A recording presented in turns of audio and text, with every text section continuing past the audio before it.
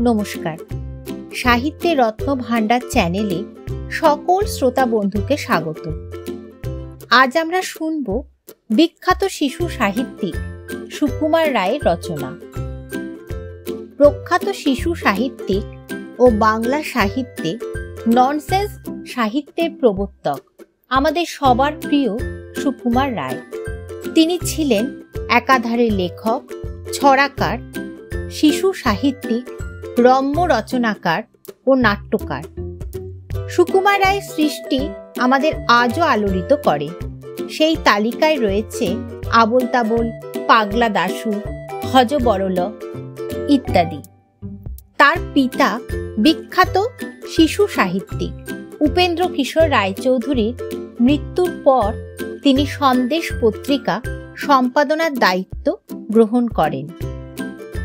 তাহলে চলুন সবাই একসাথে আনন্দ করে শুনি আজকের গল্প।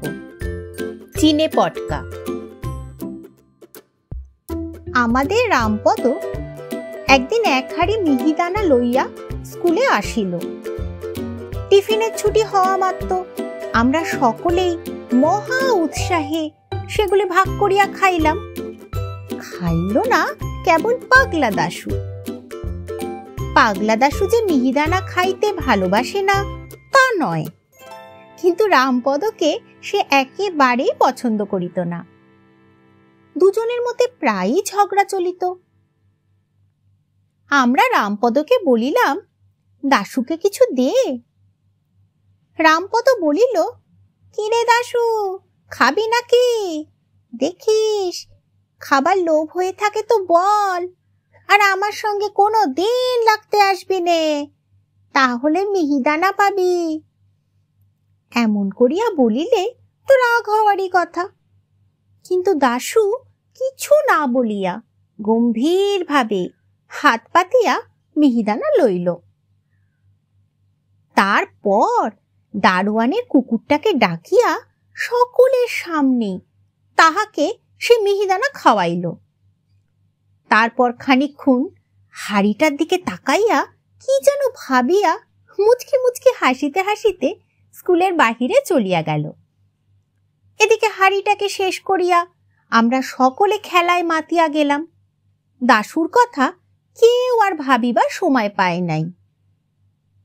টিফিনের পর ক্লাসে আসিয়া দেখি দাশু অত্যন্ত শান্তশিষ্টভাবে এক কোণে বসিয়া আপন মনে অঙ্ক কষিতেছে। তখনই আমাদের কেমন সন্দেহ হইয়াছিল। আমি জিজ্ঞাসা করিলাম কিরে দাশু, কিছু করেছিস নাকি? দাশু অত্যন্ত ভালো মানুষের মতো বলিল হ্যাঁ দুটো জিসিএম করে ফেলেছি। আমরা বলিলাম, ধুত, সে কথা কে বলছে? কিছু দুষ্টুমির মতলব করিসনি তো? এই কথায় দাশু ভয়ানক চটিয়া গেল। তখন পণ্ডিত মহাশয় ক্লাসে আসিতেছিলেন। দাশু তাহার কাছে নালিশ করে আর কি, আমরা অনেক কষ্টে তাহাকে ঠান্ডা করিয়া বসাইয়া রাখিলাম। এই পণ্ডিত মহাশয় মানুষটি মন্দ নহেন। পড়ার জন্য কোনো দিনই তাড়াহুড়ো করেন না। কেবল মাঝে মাঝে একটু বেশি গোল করিলে হঠাৎ সাংঘাতিক রকম চটিয়া যান। সে সময় তার মেজাজটি আশ্চর্য রকম ধারালো হইয়া ওঠে। পণ্ডিত মহাশয় চেয়ারে বসিয়াই, নদী শব্দে রূপ কর। বলিয়া ঘুমাইয়া পড়িলেন। আমরা বই খুলিয়া, হরবর করিয়া চা তা খানিকটা বলিয়া গেলাম। এবং তাহার উত্তরে পণ্ডিত মহাশয়ের নাকের ভিতর হইতে অতি সুন্দর ঘর ঘর শব্দ শুনিয়া বুঝিলাম নিদ্রা বেশ গভীর হইয়াছে। কাজে আমরাও স্লেট লইয়া টুকটাক আর দশ পঁচিশ খেলা শুরু করিলাম। কেবল মাঝে মাঝে যখন ঘর ঘরানি কমিয়া আসিত, তখন সবাই মিলে সুর করিয়া, নদী নদ্দ নদ্দ ইত্যাদি আওড়াইতাম। দেখিতাম তাহাতে ঘুম পাড়ানি গানের ফল খুব আশ্চর্য রকম পাওয়া যায়। সকলে খেলায় মত্ত, কেবল দাশু এক কোনায় বসিয়া কি যেন করিতেছে। সেদিকে আমাদের কোনো খেয়াল নাই। একটু বাদে পণ্ডিত মহাশয়ের চেয়ারের তলায় তক্তার নিচ হইতে ফট করিয়া কি একটা আওয়াজ হইল। পণ্ডিত মহাশয় ঘুমের ঘোরে ভ্রুকুটি করিয়া সবে মাত্র ওহ বলিয়া কি যেন একটা ধমক দিতে যাইবেন। এমন সময় ফুটফাট দুমদাম ধুপধাপ শব্দে তাণ্ডব কোলাহল উঠিয়া সমস্ত স্কুলটিকে একেবারে কাঁপাইয়া তুলিল। মনে হইল যেন যত রাজ্যের মিস্ত্রি, মজুর সবাই একজোটে বিকট তালে ছাদ পিটাইতে লাগিয়াছে। দুনিয়ার কাশারি আর লাঠিয়াল সবাই যেন পাল্লা দিয়ে হাতুড়ি আর লাঠি ঠুকিতেছে। খানিক্ষণ পর্যন্ত আমরা যাহাকে পড়ার বইয়ে কিং কর্তব্য বিমূঢ় বলে, তেমনি হইয়া হা করিয়া রহিলাম। পণ্ডিত মহাশয় একবার মাত্র বিকট শব্দ করিয়া তারপর হঠাৎ হাত পা ছুড়িয়া এক লাফে টেবিল ডিঙাইয়া একেবারে ক্লাসের মাঝখানে ধরফর করিয়া পড়িয়া গেলেন। সরকারি কলেজের নবীন পাল বরাবর হাই জাম্পে ফার্স্ট প্রাইজ পায়। তাহাকেও আমরা এরকম সাংঘাতিক লাফাইতে দেখি নাই। পাশের ঘরে নিচের ক্লাসের ছেলেরা চিৎকার করিয়া কড়াকিয়া। মুখস্থ আওড়াইতেছিল। গোলমালে তারাও হঠাৎ আড়ষ্ট হইয়া থামিয়া গেল। দেখিতে দেখিতে স্কুল ময় হুলস্থুল পড়িয়া গেল। দারোয়ানের কুকুরটা পর্যন্ত ঝাড়পন্নায় ব্যস্ত হইয়া বিকট কেউ কেউ শব্দে গোলমালের মাত্রা ভীষণ রকম বাড়াইয়া তুলিল। পাঁচ মিনিট ভয়ানক আওয়াজের পর যখন সব ঠান্ডা হইয়া আসিল, তখন পণ্ডিত মহাশয় বলিলেন, কিসের শব্দ হইয়াছিল দেখো? দারোয়ানজি একটা লম্বা বাস দিয়া অতি সাবধানে, আস্তে আস্তে তক্তার নিচ হইতে একটা হাড়ি ঠেলিয়া বাহির করিল। রামপদর সেই হাড়িটা। তখনও তার মুখের কাছে একটু মিহিদানা লাগিয়াছিল।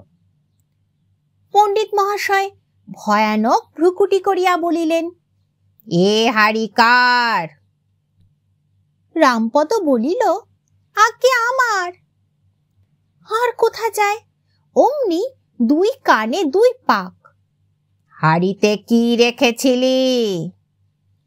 রামপদ তখন বুঝিতে পারিল যে গোলমালের জন্য সমস্ত দোষ তাহারই ঘাড়ে আসিয়া পড়িতেছে।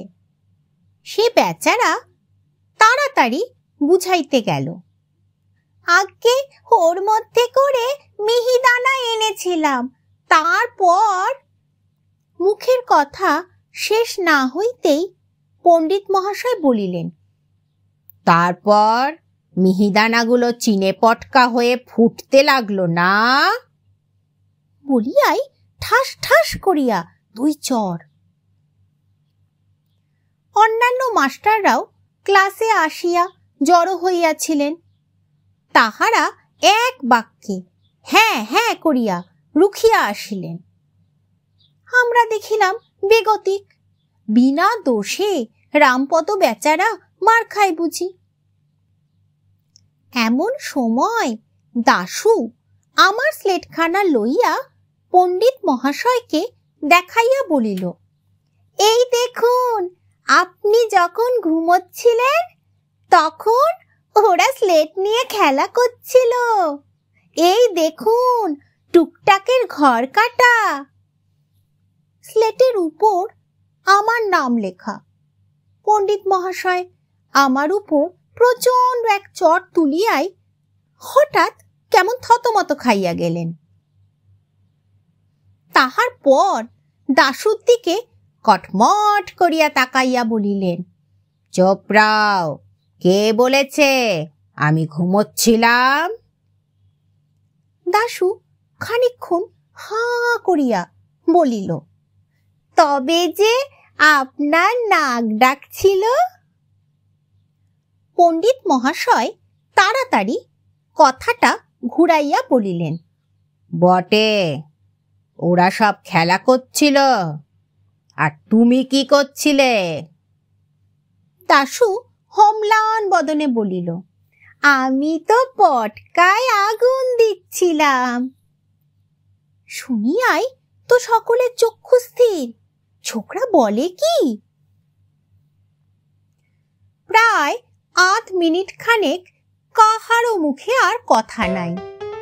তারপর পণ্ডিত মহাশয়, ঘাড় বাঁকাইয়া গম্ভীর গলায় হুঙ্কার দিয়ে বললেন, কেন পটকায় আগুন দিচ্ছিলে?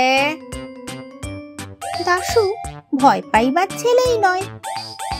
সে রামপদকে দেখাইয়া বলিল, ও কেন আমায় মিহিদানা দিতে চাচ্ছিল না?